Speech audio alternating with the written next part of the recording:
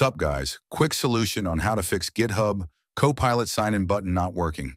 The bug would look like this where if you press any button, nothing works. For solution, open your VS Code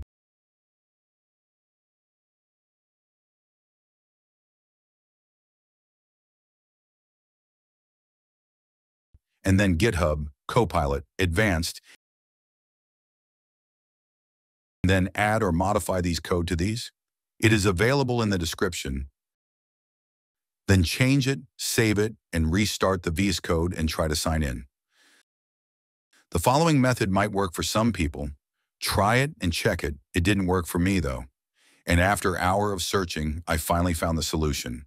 You need to uninstall the VS Code, delete these folders, and reinstall VS Code, and it will work. Go to the VS Code original location. You can do this. Then uninstall it. Then hit Windows plus R. Then go to percent user profile percent. Then delete the .vs code folder. Then go to percent app data percent and delete code folder.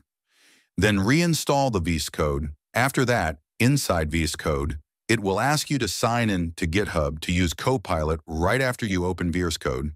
Sign in and it will work. If this works, don't forget to like, subscribe, and share. Ifrun.